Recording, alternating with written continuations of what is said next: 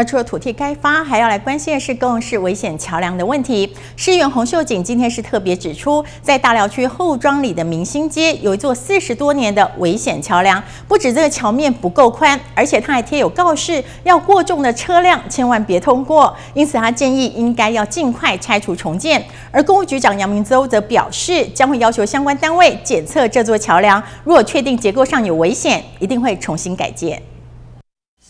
秀出位于大寮区后庄里明星街上的老旧桥梁，市议员洪秀锦强调，这座桥梁已经有四五十年的历史，不止桥面不够宽，载重力也有疑虑。桥梁上甚至还贴有告示，要卡车别走这座桥梁。洪秀锦说，这摆明了告诉大家，这座桥梁根本是一座危险桥梁。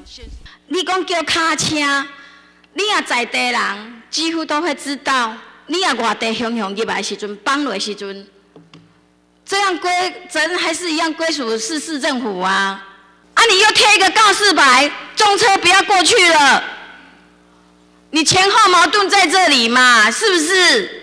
好了，是啦，我甲议员报告啦，就说，呃，因为如果有这一个重量的限制的话，还是要请我们养工处哦。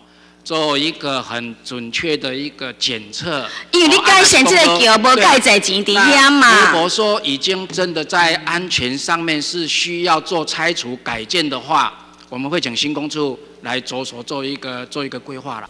而对此，公务局长杨明洲则是解释，大高雄市有一千三百多座桥梁，针对这么庞大的桥梁数，原本就定有一套监测系统。不过，对大寮区后庄里的老旧桥梁，还是会请养工处尽快前往检测。如果确定属于结构上有危险的桥梁，一定会拆除重建，还给用路人安全。